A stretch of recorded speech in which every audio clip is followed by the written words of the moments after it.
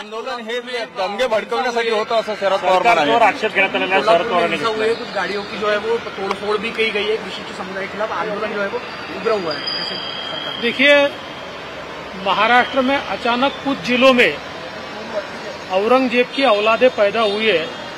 जो औरंगज़ेब का फ़ोटो दिखाते हैं औरंगज़ेब का स्टेटस रखते हैं और इसके कारण एक दुर्भावना समाज में पैदा हो रही है और इसके कारण एक तनाव भी निर्माण हो रहा है। सवाल ये उठता है कि अचानक इतने औरंगज़ेब के औलादे कहाँ से पैदा हुई? इसके पीछे कौन है? इसका असली मालिक कौन है? ये भी हम ढूंढ के निकालेंगे। कौन जानबूझकर महाराष्ट्र में कानून व्यवस्था खराब हो और महाराष्ट्र का नाम खराब हो ये करने की कोशिश कर रहा है ये भी हम ढूंढ के निकालेंगे। लेकिन मेरा इतना ही निवेदन है, परिस्थिति पूरी नियंत्रण में है।